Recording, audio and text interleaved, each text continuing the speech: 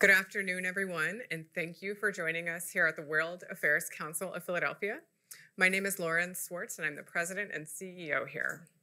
We are so pleased that you've joined us here at the World Affairs Council. We have 70 years of experience of connecting Philadelphia to the world through a variety of programs and opportunities, education, and travel.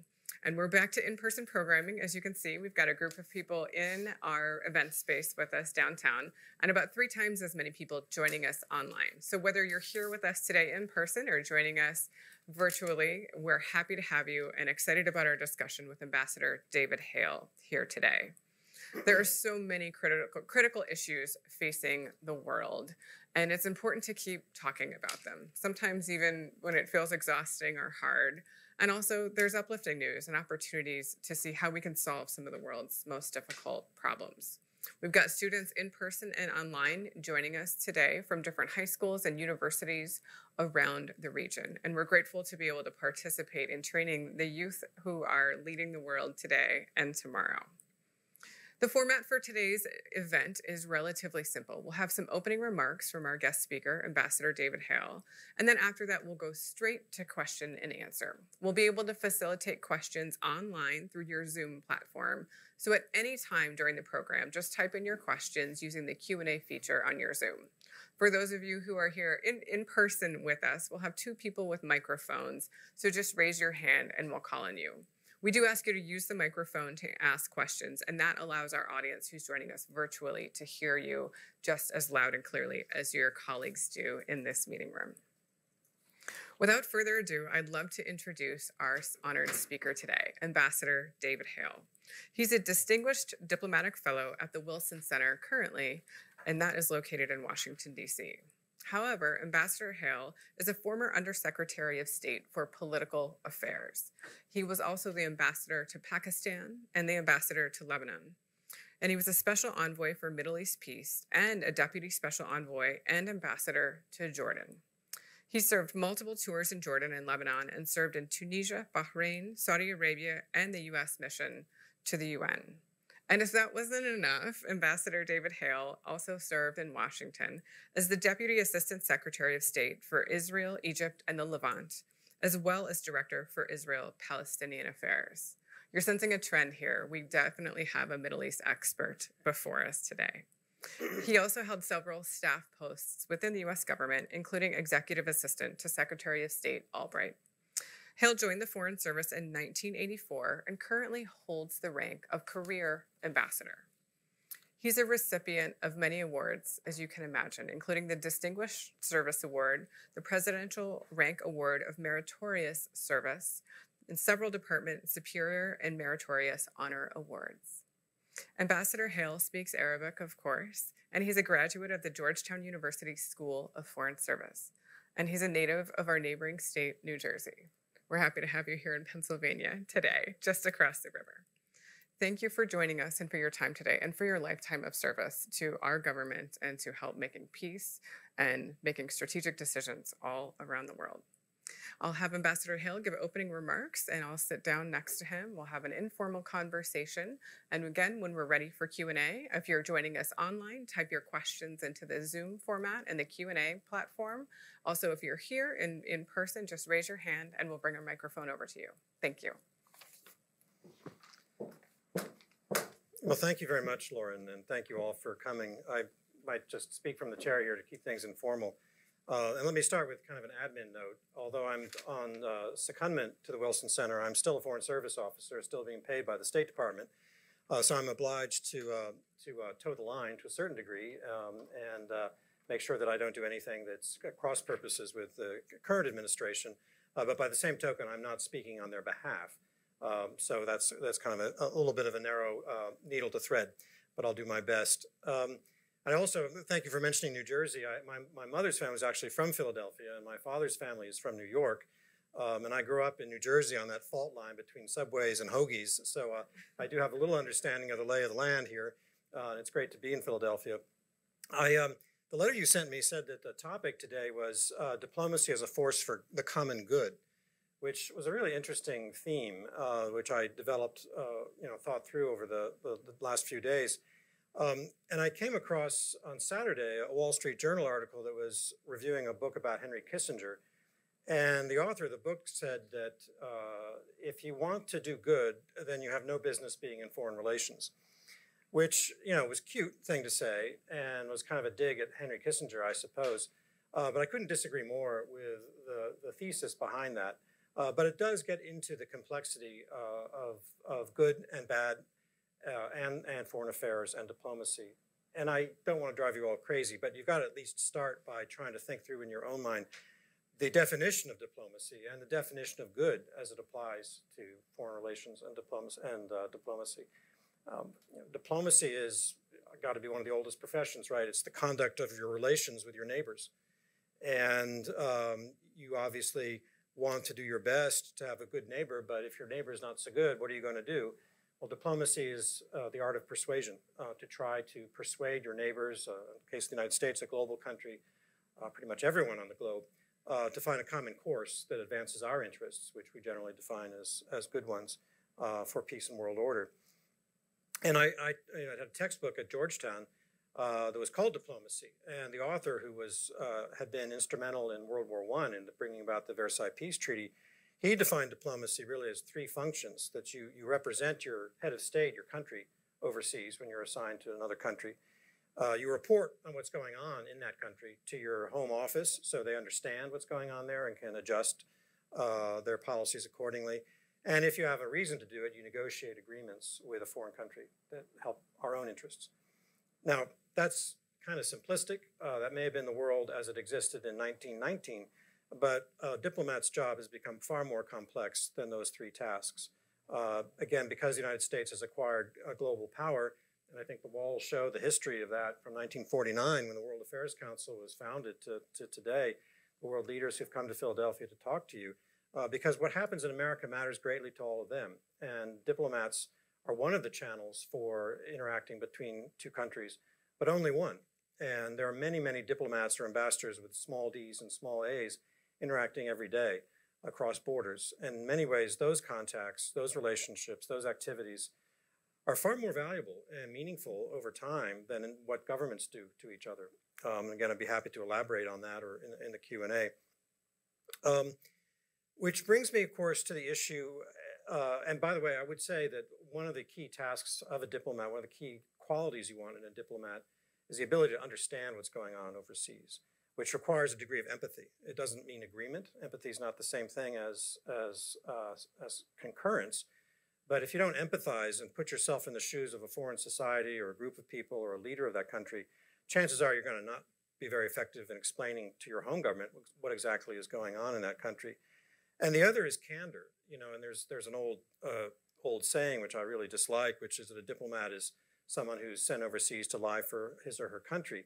Um, I think that confuses the role of a spy with the role of a, of a diplomat. We, we, a, a, diplomat who lies is a diplomat whose uh, functionality will quickly evaporate when people discover that and, and, realize that they're not dealing with someone who has the uh, reliability and sincerity that's needed to have these kinds of conversations that we have uh, and candor to be able to tell a foreign leader with directness, uh, with courtesy and respect, but with directness, what our policies are and what the consequences will be if we have a disagreement, if, if in case that happens.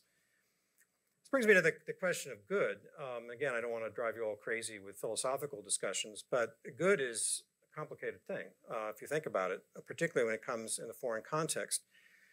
Uh, at one level, a diplomat does good for American citizens. That's our core function, is to help American citizens overseas if they get in trouble or if they you know, they have a financial dispute or God forbid they get into jail. Um, we're there to help them. And um, frankly, the, the, two most moments I'm proudest of in the Foreign Service was when I was able to help ordinary Americans uh, in situations of distress. My first assignment, I was a vice consul doing consular affairs, helping Americans, which is often the case for your first assignment and I was in Saudi Arabia, and um, an American mother uh, and, and, a Jordanian husband had been driving, and her they had had an auto accident, and the Jordanian husband was killed, uh, and she was left with this little infant. They had no roots in Saudi Arabia; they were on their way traveling there to begin work, um, and she wanted to go back to her home, to her family in Detroit. uh, it wasn't so simple. The Saudi authorities were not automatically going to approve of that because the Jordanian in-laws came, and that's cultural environment was such that the uh, the uh, implicit assumption would be that a child in that situation would go to the parents of the father. Well, you can imagine how stressful the situation developed over time, but over the course of a week, and primarily because there were no Saudi nationals involved, uh, we got the government to say, well, you, if you can work it out with the Jordanian in-laws, then we will do it, we will bless whatever you do. And you know, I negotiated for a week and I kind of preyed upon the, the emotions of the family and saying, wouldn't it be better for the child, to be, baby to be with a mother? And over time, we, we got to the right place and, and she was able to, to fly home with, with her, her child. Um, and at the end of my career as ambassador to, uh, near the end, as ambassador to Pakistan, uh, we stumbled across the fact that there was a whole American family that were, was being held hostage by Taliban associates in Pakistan. The Pakistani government had been assuring us that was not the case. Uh, the evidence showed otherwise. And I had to make a snap decision that moment. Were we going, how were we going to handle this? It was the middle of the night in Washington, and uh, the evidence was fleeting. So I, I went to the guy who runs the country, the head of the army, and we we uh, confronted him with this and said, "You you have a choice. It's really one choice to to you know to bring these people into safety," um, and they did. Um, and again, it was very gratifying because she had several children. They'd been in captivity for years. She'd given birth in captivity. The real negotiations, the hard part, was with her husband, who was a Canadian, who had um, uh, Takfiri tendencies, uh, and that's what got them into trouble in the first place. And he didn't want to get in, onto an American aircraft because he was afraid what we might do to them, which was not valid, but that was that was the angle he had. So we had to work all of that out with Canadians. And again, it was most, one of the most satisfying moments of doing good, starting point of this conversation for for for normal people in distress. Um, but my guess is you had something else in mind on the subject, uh, which is how, at a, at a bigger scale, at a strategic scale, uh, do we in fact uh, promote good? Um, and for America, time and time again, since at least the beginnings of these these photo this history of photos, or photos of history, um, is building a world order. Um, that has been the foundation, uh, the structure for us to do the best we can. Uh, we've not always gotten it right by far, and in the Q and A, we can maybe tease out some of those those decisions that were made. Uh, but for the United States, building the best possible world order uh, based on international law and norms, uh, uh, free market economy, universal values of human rights, uh, that has been the project of the United States, and I think the legacy is something that we should all be very proud of, but can never stop working on. We ourselves sometimes fall short of those ideals, and certainly others do as well. Um, but it's that framework that allows us to build a coalition of others to join us in that effort um, to try to make the best of very difficult situations overseas. The sources of our power and why we're able to play such an instrumental role in building world order is not our diplomacy, that's a tool. It's our military strength, it's our economic strength, which is global in extent and not controlled by our government. It is the power of, of the capital free market. Um, and our values, uh, which time and time again uh, comes up, even in uh, administrations you might not think. Uh, our, the promotion of our values in one way or the other is a powerful dimension of our foreign policy and is a powerful attraction uh, for people uh, who may not be, who share those values but may not be able to enjoy them in their own societies. And they yearn for help from us in that regard. I will. Um, I'll also comment, though, in that connection that trying to de- delink any of those three, and particularly delinking diplomacy from the potential use of military power, doesn't really work very well for us. And I, you know, I'm writing a book right now on American policy toward Lebanon. I spent many, many years there, and it's a historical account. And in 1958, we sent 15,000 Marines to Lebanon because we were afraid of an Arab nationalist communist takeover of a pro-Western country. Uh, a day after the 15,000 Marines landed, we sent one diplomat, uh, one of my predecessors as Undersecretary of State. He did all the work.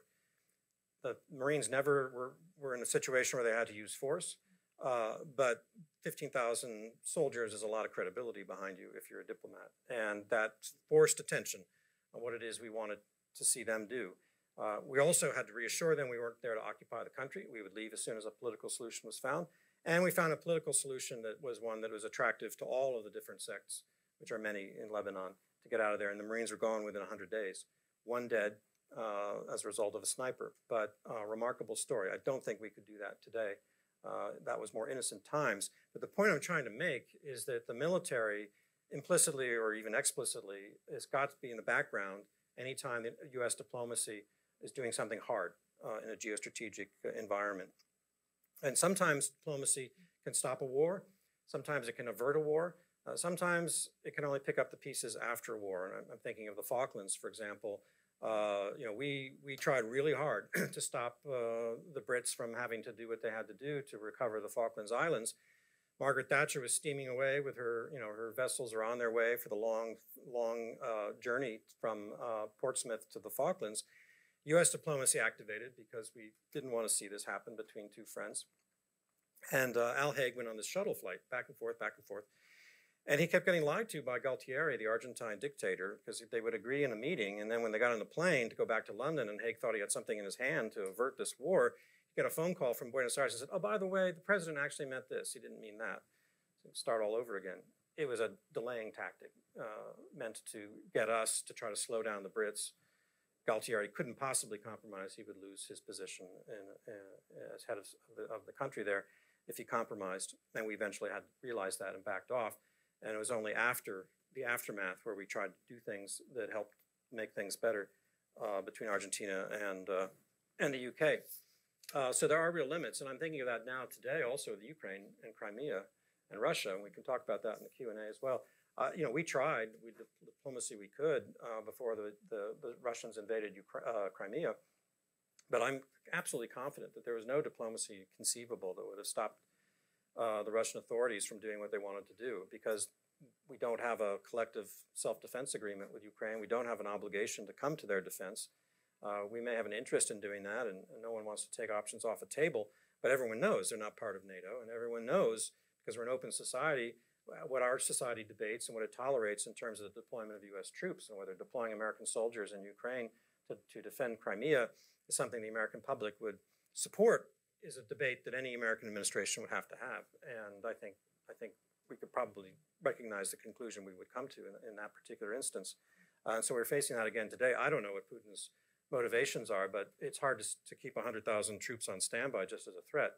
Uh, so that's an area where we really need, need to focus as well. Um, I think we should turn to Q&A pretty soon because that's going to be much more interesting. Um, but building bridges, which is where the world affairs uh, comes in as well, of understanding between societies is a crucial part of promoting good and of diplomacy. And we have, since 9 11, really uh, fundamentally uh, revolutionized the way the US government uh, promotes better understanding. We've got tremendous resources to do it. We've focused on Islamic societies, perhaps overly so, uh, to do that, but that's where it seemed to be the urgent need was required. Um, and it's not just about um, you know student exchanges and uh, lectures uh, and those kinds of things, important as they are in building better under, bridges of understanding, but also demonstrating to people how America is a force for good. Um, and I remember when I was ambassador in, uh, in Jordan, our, our uh, polling data was very low for the United States, although we had been a generous contributor to their economy and their, their government for, for years and years. People didn't really value that so much. Uh, 60% of the country are Palestinians by origin. So what they looked at was the American-Israeli relationship, and they drew the conclusions they wanted to draw from that. The one time we saw our polling data spike up was when Condoleezza Rice intervened. She put aside all of her work to intervene to bring about peace in Gaza, which was erupting. This is probably 2006, maybe, which was erupting a terrible, terrible tragedy. Um, and she brought about a ceasefire agreement, and our and our uh, our data went way up. So when I always talk to our people who are trying to craft strategies for public diplomacy, we call it, how do you build a better understanding? it is it can't be divorced from reality or from facts or from the things we're doing. You can't market something. It has to be authentic and it has to be grounded in a policy that people accept, understand, and appreciate. And then we need to help them understand that and see that. Of course, that's that's our role. And to bring expose people who may not otherwise be exposed to America and American values. Um, I would um, I would also just you know add one last thing, which is that um, we always have to bear in mind uh, the law of unintended consequences. We may think we're doing something that's good, and we may, in fact, by our own measurement, be doing something that's good, but it can lead to consequences that may be very bad. Um, I think you all know Vietnam is a classic example. Maybe you can use Afghanistan as such an example. I don't know. Time will tell. Um, where we, we contributed to situations that led to things that didn't turn out so well, not just for us, but for the people involved. And this more and more is beginning to affect thinking in foreign policy decision making, sanctions policy being key among them. Um, when we don't want to go to war, but our diplomacy is not working, we often turn to punitive actions like sanctions. Well, this is the way we can actually get it, you know, get across uh, that we're serious as to sanction a country. Well, the human price of sanctions can be very enormous. And I, I was in office when uh, the coup occurred in Myanmar, the, the, the, the latest coup. And Aung San Suu Kyi was arrested and so forth. And we had this debate about sanctions. And interestingly enough, there most people agreed that we could not sanction the entire country. It would only make matters far worse. The problem was that the people making the decisions were so insulated from the impact of any American sanctions that it was hard for us to develop a package that actually changed their behavior. Or they'd already, as we say, baked into, they had already calculated whatever costs there were to their decision making, and the price was, it was better for them to do what they were doing in their own lights than to, uh, than to respond to our, what we were requesting. We tried to work with the Japanese, who have a higher economic interest uh, in, in Myanmar than we do, but uh, we were not able to, to develop a package there. Um, and then I would end because I've gotten the uh, I've gotten a hairy eyeball that it's time to stop talking and start listening. But um, is that uh, the freedom agenda of the Bush 43 administration again admirable, uh, truly desire to make that match between good and what our interests are, a sort of enlightened self-interest. Unfortunately, we found when there were free elections, there were organizations that were elected that were not only anti-American but were anti-democratic in the Middle East. And we can elaborate on that if there's interest in the Q&A. So thank you.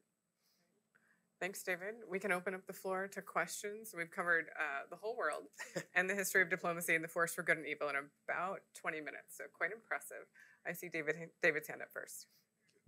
Good morning. Good morning, Ambassador Hale. Marhaba. Uh, my name is David Miron. I'm also a, a, graduate of School of Foreign Service right. and uh, entered uh, as a Foreign Service officer in 1999 and recently uh, retired, yeah. but I'm still doing some uh, um, REA work at this point. So I'm curious, uh, particularly to focus on Iran for a moment.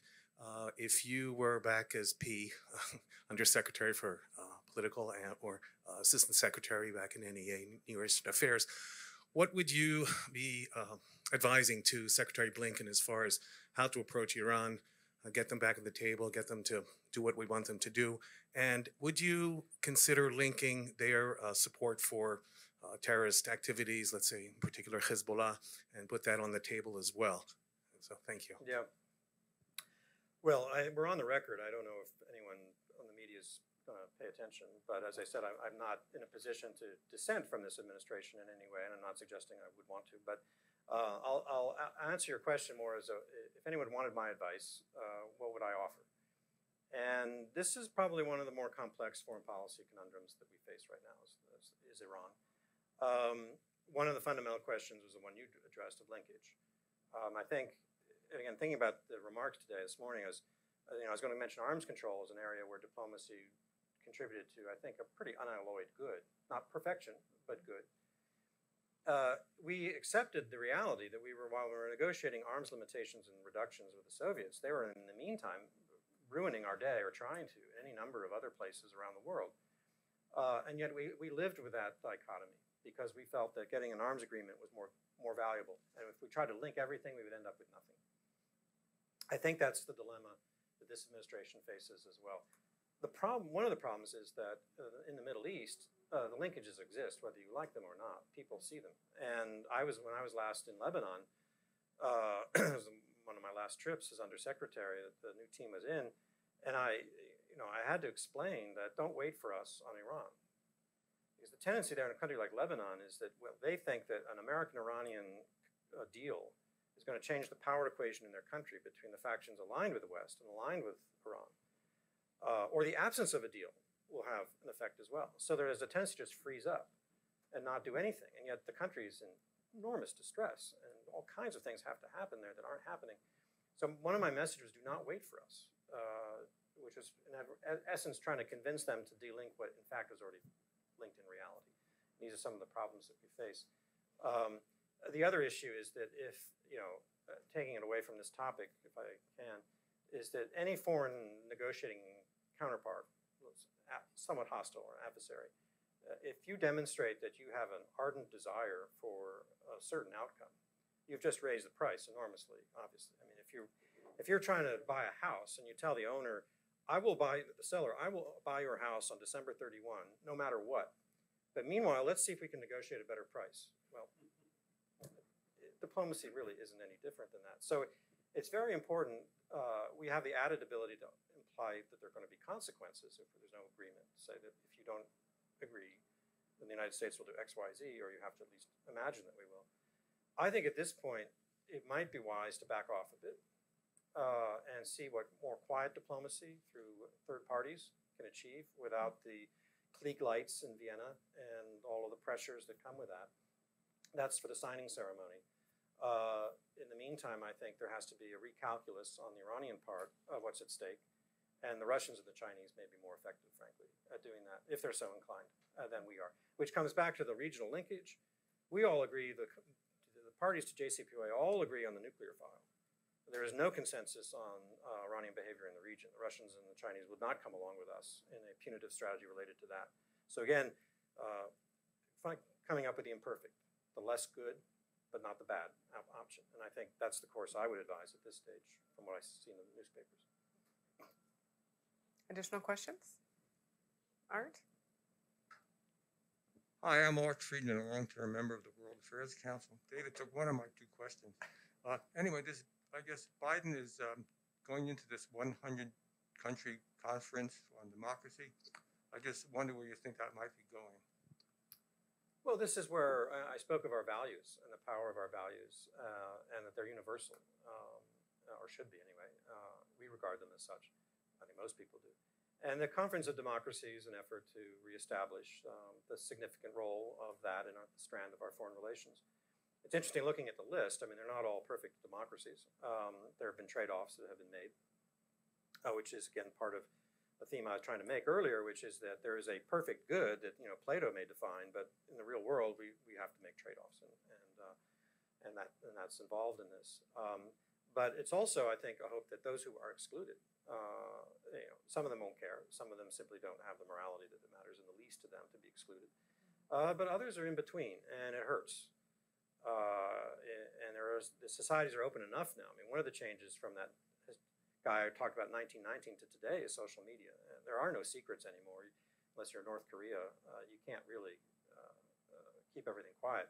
So there are people going to say, well, why weren't we, you know, this is one more reason where we're an outcast because we're not excluded. So these events have a symbolic value, I think, in, in highlighting. Will it change, you know, the world the next day? Uh, no, it won't. But it's a, it's a process uh, that brings a community together. We've got a student in the back, a student from the Bodine High School for International Affairs. Hi, my name is Dahlia. Um, I'm a junior at Bodine High School, and uh, you spoke a lot today about uh, some of the work that you've done internationally. And I also did some research before I came, and I came across um, a meeting that you had in 2009 with Dr. Saeed Erekat um, to discuss the Israeli and U.S. proposals for the relaunch of negotiations in Palestine. Uh, in this meeting, you assured Dr. Saeed Erekat that the Obama administration will be committed to tackling the issue of Palestinians having no say in a discussion regarding their land despite meeting all their obligations. Uh, prior to this meeting, you had uh, spent eight months with the Israelis on account that you would be reaching an agreement for negotiation. When Dr. Saeed Erekat asked you about this, you told him, um, I quote, we have not reached an agreement yet, so there is nothing I can tell you. It has been 12 years since that meeting. 1,180 Palestinian children have died as a cause of the Israeli settler presence and the Israeli military since that year. Is there anything that you can tell us now? Um, well, there, there are many things that we wish we could have accomplished uh, as diplomats, as individuals, whatever role in society or international affairs, and sometimes you just don't succeed. Um, and I spent uh, I spent four years uh, first with George Mitchell, who was the special envoy. Then he left because things weren't working out, and then I took on the role for the following two years. Um, President Obama was very sincerely committed to doing what he could uh, to bring about peace between uh, the Israelis and Palestinians. Uh, it just didn't work out. Um, we can go into all the different reasons uh, why. Uh, I think there's a lot of fault that can be uh, laid to a lot of different feet, but it didn't. It didn't work out. And there was a subsequent effort when John Kerry came into office. I left that position to go be ambassador to Beirut, to Lebanon. John Kerry came in, and he was very passionate about trying to to bring justice and peace there. Uh, and he- threw himself into it, an enormous amount of energy and effort, and he too was unable to overcome the differences. Um, so we just have not been able to find the key uh, that unlocks this this tragedy and, and brings about peace that we want. Uh, there have been many different ways to uh, many different methods tried. Uh, the direct involvement of an American president that you saw with, say, President Clinton, uh, you, the use of Security Council resolutions at times, um, secret diplomacy, the Oslo Channel, which uh, brought a great breakthrough actually in, in 1993. Um, it hasn't worked. Uh, what we've been able to accomplish is some element of stability and partnership with at least one element of the Palestinian Authority in Ramallah, uh, but that is that is only a partial and, and uh, incomplete uh, you know uh, product that, that we've achieved.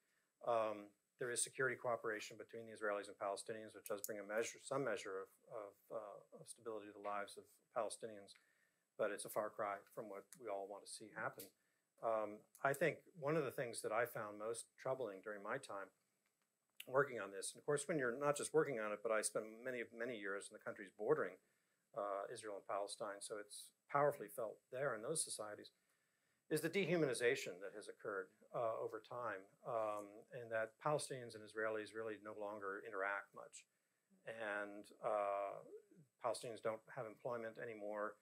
This is this is a response by the Israelis to the Intifada and, and all of that. And I don't want to get into a, a blame categorizing issue, but it one of the very troubling consequences is that dehumanization and uh, and the way people think once they don't think of the other as a person uh, with the same rights and the same needs and the same human responses as they themselves.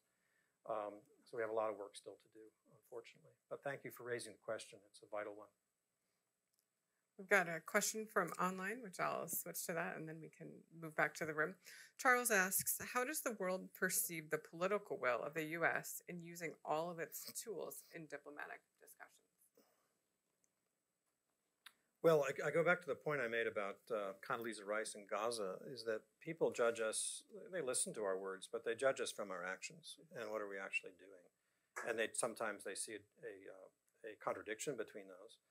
Um, an example from the book I'm writing in the 1990s in Lebanon, we adhered rhetorically to a position that we in the international community, whatever that is, had stuck to, which is we believed in Lebanese sovereignty and territorial integrity and its independence despite the fact that there were 40,000 Syrian troops occupying uh, much of the country and another 10,000 occupying Israeli troops occupying South Lebanon. Privately, in fact, what we were doing was trying to negotiate a peace agreement between Syria and Israel. And we really wanted, if you look at the memoirs of the people involved, they didn't want Syria to withdraw from Lebanon at that point because they expected that we would need Syrian troops to disarm Hezbollah, which was throwing rockets into Israel, which was the reason the Israelis had their troops in Lebanon. So there's a very complicated uh, sort of uh, train of logic, but it led us to this really, uh, I think, um, blatant contradiction between our rhetoric and our values on the one hand, and what we're actually doing. Although it was, in a sense, for a common good, because we thought the road to stability and peace in Lebanon lay through Damascus. So if we could get them to bring about peace, maybe things would get better. Fortunately, eight years of that didn't do anything except consolidate Syrian control over, over Lebanon. Um, and so that was, again, one of those things where we think we're doing something that's good and self interested, enlightened self interest. Uh, in fact, the outcome was detrimental to the interests of the Lebanese, first and foremost, ourselves and our partners in the region. Um, political will, though, is a tricky question because it often gets linked up to credibility, question of credibility. And I've seen so often in my career, and again in the research I've been doing on this book, where American leaders get really, really caught up in their credibility. And they will keep doing something. Uh, what's that law where you know keep banging your head? ag- What is that? You bang your head against the wall, nothing happens. And Yeah. yeah, it- wh- while seeing that there are no results, they'll still keep doing something, like sending soldiers into Vietnam year after year, because they're so afraid of the consequences for America's so-called credibility of a withdrawal uh, that they can't contemplate that, even though their strategy really no longer makes any sense. And then we found when we did ultimately have to leave, we only made it worse by delaying that day. Um, and we survived. Our credibility was still intact. It suffered that year, the next year maybe, but uh, over time, by doing smarter things, uh, by getting relationships right, uh, I think we were able to regain our credibility through our actions. And the, the worst thing in terms of your political will and your credibility, in my view, is that gap of candor between what we're saying and what we're doing. It, it often, I think, trips us up in ways that, uh, that really are both avoidable and dangerous for us. Another way to think about it is doing the right things right or the right things wrong, or sometimes doing the wrong things right. There you go. Continuing to do it. Uh, Larry, you had your hand up. Lawrence Goldberg. I'm a member of the World Affairs Council. Um, I wanted to ask about your perception of uh, what happens in conflict zones. Maybe Lebanon is a prime example where you have warring factions, religious, political, ethnic, whatever.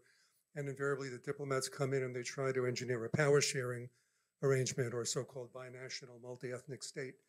It seems to me that those, fall, those things fall apart invariably, like 90% of the time. Do you feel that's a viable approach? And can you think of uh, instances in the world where power sharing and binational states have actually worked well? Um, it's hard to. I think implicit in your question is skepticism about that, and I, would, uh, if that's the case, I would share that skepticism. Um, in Lebanon in 1958, this one diplomat for the, the 15,000 Marines, he didn't change the power sharing formula. He re, it, sort of uh, refreshed it. he was able to overcome an obstacle of an individual that was a personality more than the systematic thing.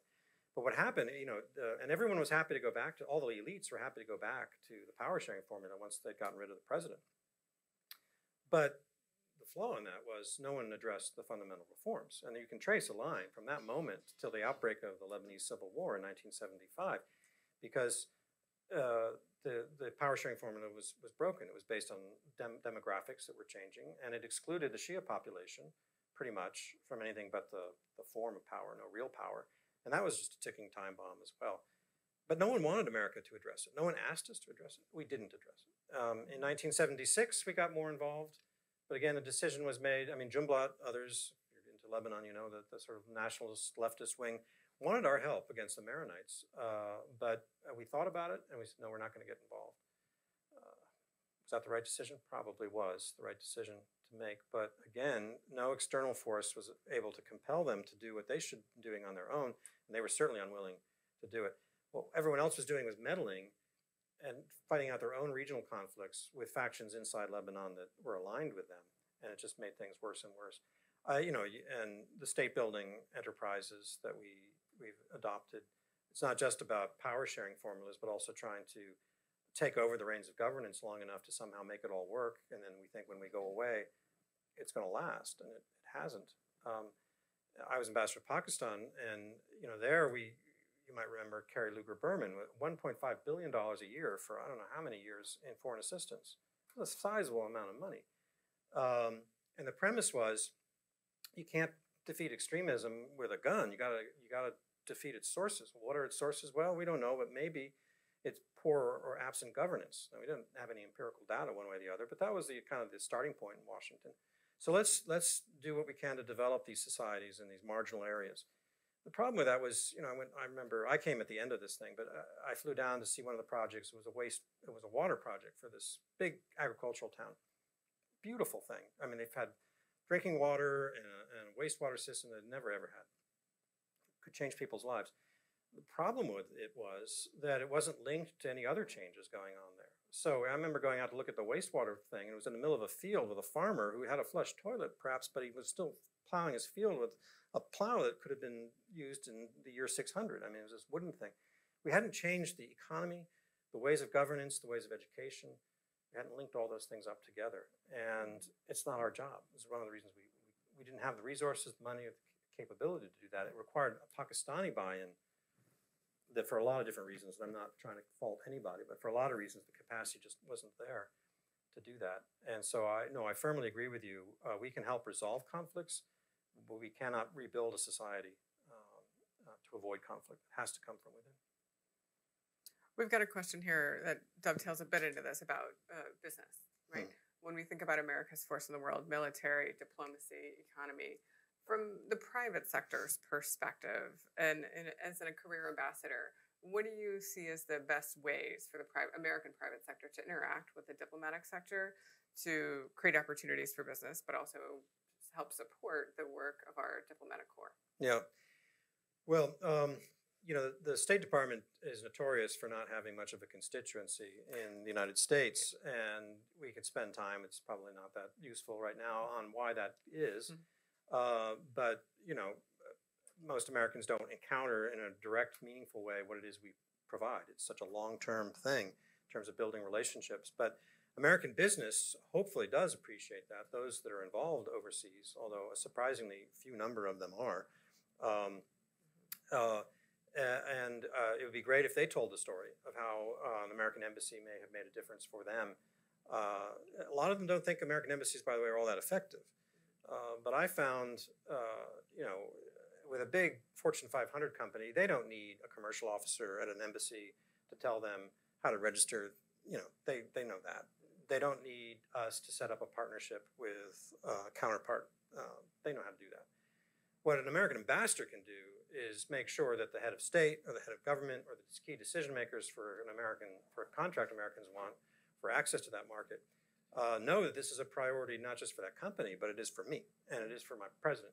And we're going to keep at it, and this is why it's good for you, um, and and why you should make the right choices uh, when there's a foreign uh, when there's competition underway. That's what that's a place where we can really make a difference.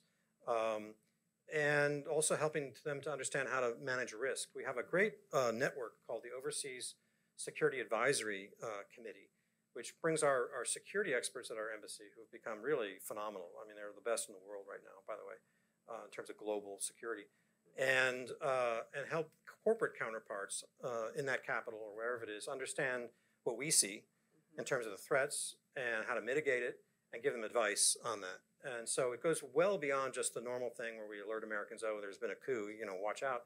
Uh, but really day to day partnership with corporations um, so that they have a, as good an understanding of, of the security environment as possible. And I think that's, that's been a great tool. And that, of course, taps into the full, all toolkit of an American embassy uh, in terms of our, our, our information, our understanding of society, and then having the advocacy of an ambassador, particularly if there's a security problem. Um, I don't know if I answered your question adequately, but I, I think I got it. They'll they'll chime back in on the Q and A. Okay. All right, I see Montana in the back.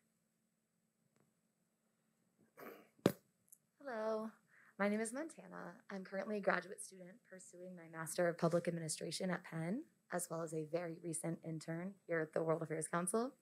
So, you mentioned in your talk that at times the US government supports leaders who promote Western values, and then upon assuming office, they don't necessarily follow through with that. So, thinking about the current conflict in Ethiopia, given US and other Western governments' support for Prime Minister Abiy Ahmed's transition into power, what can and should the US government's role be between the government and the TPLF at this point?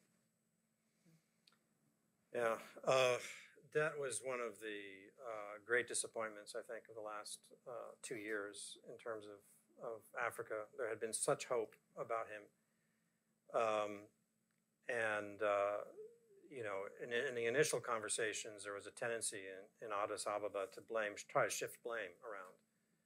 Know, it's not me, it's somebody else, it's the military. It's, you, you got to take responsibility, which was a big missing part initially of what was happening. And uh, the other conundrum we have here is is uh, talking about values. Is that you know I don't know if you can do an opinion poll in Ethiopia right now about what's happening because of the violence, but uh, it's not black and white for for everybody living there.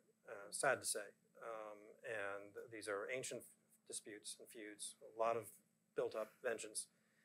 And um, and so it's it's really really a complicated situation. It's spilling over, which I think is where you know, we in particular can play a role is trying to do what we can to contain the spillout effect. I think that that's a legitimate. Uh, African states accept that. Um, the UN accepts it. We all have rules that govern that. Um, it's destabilizing Sudan, South Sudan. Uh, then you've got the Eritrean role in all of this. Very complicated set of issues. I think, you know, appointing an envoy was a, was a good move uh, to give it full-time attention. Uh, but um, the leadership seems pretty much uh, impervious to external influence. And that creates an environment in which it's very hard to get our way. Uh, what we could probably best do over time is provide an alternative course for dispute resolution. But that's not going to happen until uh, one or both sides feel that they've exhausted their options. Uh, one of the things, again, I'm preparing for today and thinking about when diplomacy can uh, can deal with conflict. Um, it's often a case in which the parties exhaust themselves, and uh, uh, I saw this in Israel and, and Lebanon in 2006.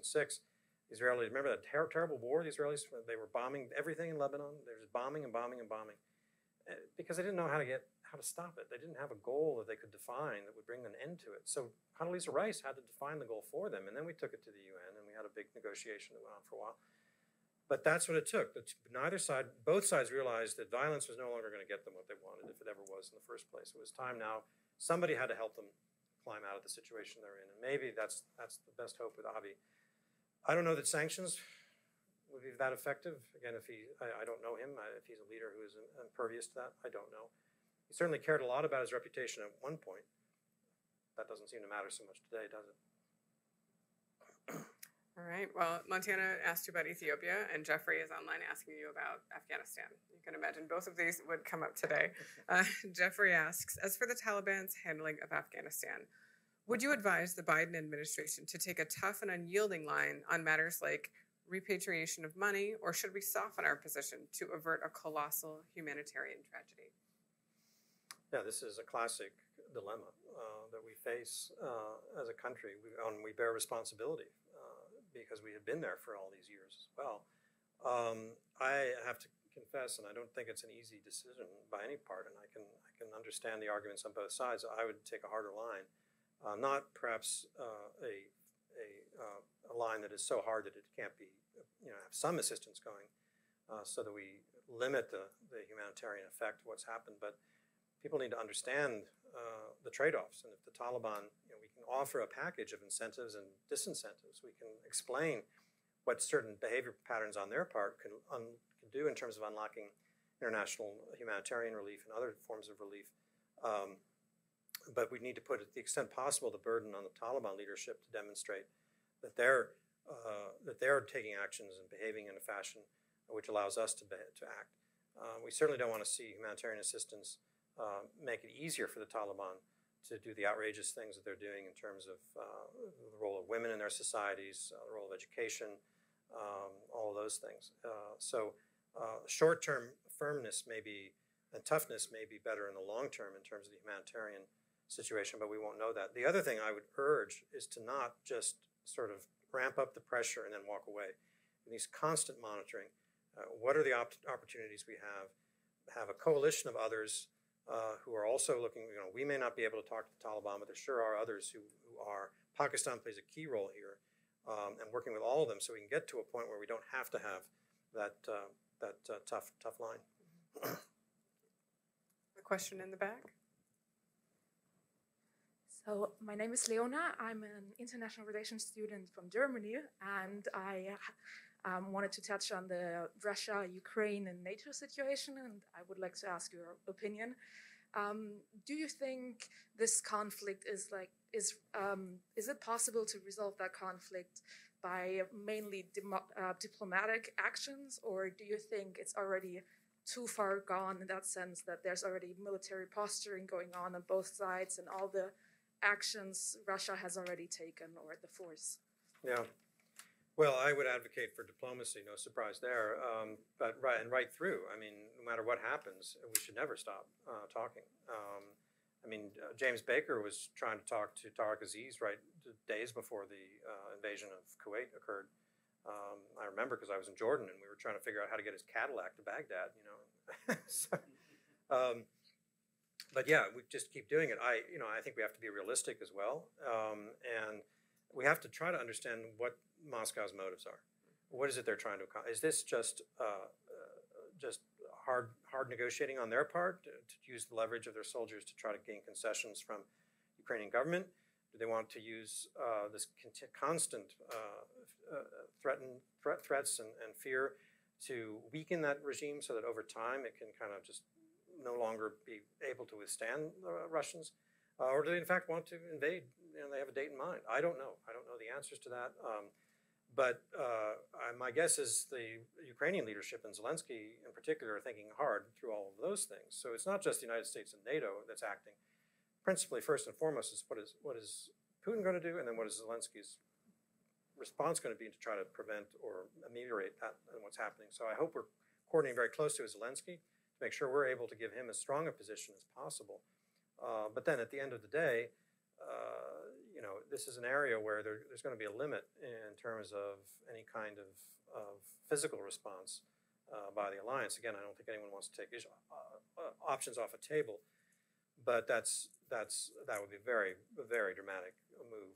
Um, I would say that uh, you know one of the things we've hoped for in imposing sanctions on the Russian system and the oligarchic system is that while it may not stop the behavior that just happened that led to us to, to impose the sanction, hopefully it'll make them think twice before they do the, you know, the next time. I, I, this will be an interesting example to, to inform us in the future.